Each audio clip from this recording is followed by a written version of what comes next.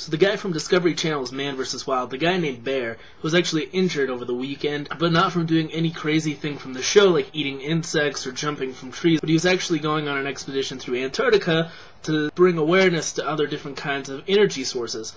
Why it was an expedition through Antarctica, I don't know, but he was injured. People from Discovery Channel are saying that it wasn't part of their thing, but he seems to be doing fine, or at least will be doing fine very shortly, so don't worry, you Man vs. Wild fans.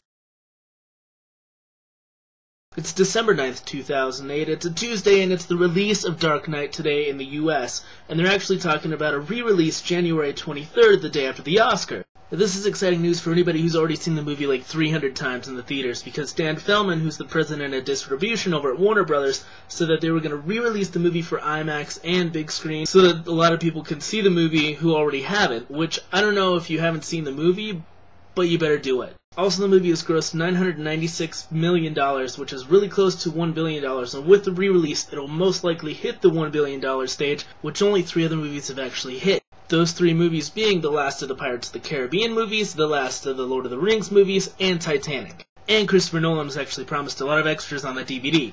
Yes. And if you remember when Batman Begins came out, there were no extras on that DVD.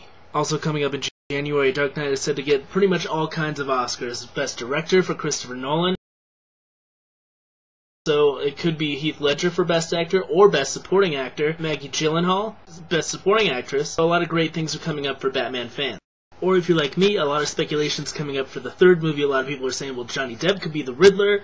A lot of people are saying Angelina Jolie could be Catwoman. A lot of speculation is going on, so it's a great time to be a Batman fan, including myself, which I've always loved Batman. If you could check out my wallet, check this out.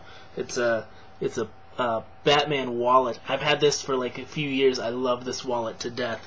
Anyways, that's all I wanted to say for today. Uh, I'm gonna again post the flyer for our show January 3rd later this week, but I do want to say if you want to buy tickets and you live in the Denver area, do that now because it's gonna probably sell out, or at least we're gonna try to sell the place out. So, see you guys later.